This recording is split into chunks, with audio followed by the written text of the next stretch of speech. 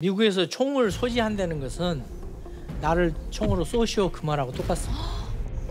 왜냐하면은 누구든지 총을 빼면은 그 총을 본 사람이 자기의 목숨 위협을 느끼고 그 사람을 제거할 법적인 self defense가 성립이 되기 때문에 그래서 총이 없는 것이 더 안전합니다. 그다음에 우리 LA 타임스 규정상 총기 휴대 못합니다. 예, 왜냐하면 언론의 자유라는 것은 주어지는 게 아니라 우리가 지키는 거거든요. 그래서 우리가 모범적으로 법을 어기지 않고 취재를 해야 되는 책임이 따르기 때문에 총기 휴대는 그건 생각도 못 하는 겁니다.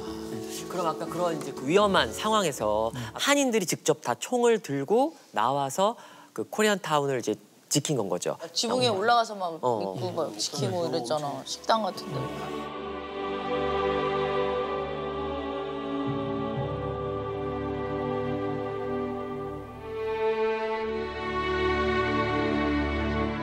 뭐 들어가니까 벌써 집에 있는 엽총 가지고 와서 가게를 지키는 분들이 많이 나와 있는 거예요. 왜냐하면 한국 사람들이 똑똑한 것이 어느 도시나 미주 도- 메이저 시- 도시에 가면은 한국 신문이 있고 방송이 있습니다. 신문과 방송을 통해서 소통을 다 하고 있는 거예요.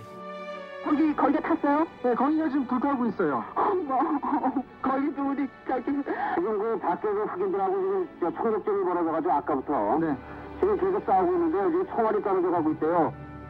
그래서 실시간으로 어떤 지역에서 어떤 피해를 보고 있다는 것을 한국말로 방송을 하니까 이 하- 한국 청년단들이 총기를 가지고 필요한 가- 가게에 가서 지켜주는 그런 역할을 이미 예, 경찰하고의 관계없이 예, 지키는 그런 역할을 하고 있어서 저는 이제 그 과정을 총기를 가지고 마켓을 지키고 있는 모습을 제가 기록을 했습니다. No police support whatsoever. National Guard, I've heard about it from this early this morning. We don't see any of that support coming out. We have a lot of shotguns in here and some handguns, but we have to use them.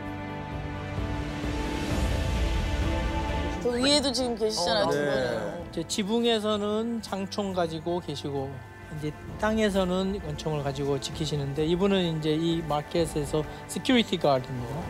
네, 다음 사진을 보시면은 그 마켓 주인이 야, 저 탄피 반, 반대편에서 폭도들이 몰려오니까 허공에다 대고 총을 쏘셨어요. 저도 저기 이제 rooftop Korean 중에 한 명이었어요. 아, 진짜요? 네. 코리아타운과 그 LA 폭동이 일어났던 캄튼이라는 지역이 얼마나 가까웠냐면 차로 5분이 안 걸려요. 바로 그러니까 LA 폭동이 일어나는 캄튼 바로 위가 코리아타운이에요.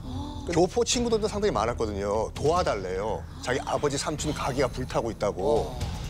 그리고 지상에 있는 것보다는 차라리 루프탑 옥상으로 올라가자. 그래가지고 이제 이 총격전을 벌이는데 저쪽에 있는 흑인들은 총은 가지고 있지만 쏴본 적이 없어요. 그래, 군대를 안 맞아. 갔다 왔기 때문에. 어머 어머 근데 이 루프탑에 있는 이 한인들은 다 예비역 병장들이 어머 어머 어머. 한국에서 군대를 다녀오신 저 여러분들이 총기를 가지고 나왔을 때는 순간적으로 이 조직을 하시더라고. 누구는 되죠. 어디, 누구는 어디, 누구는 지붕. 예비군의 힘입니다. 예비군의 힘.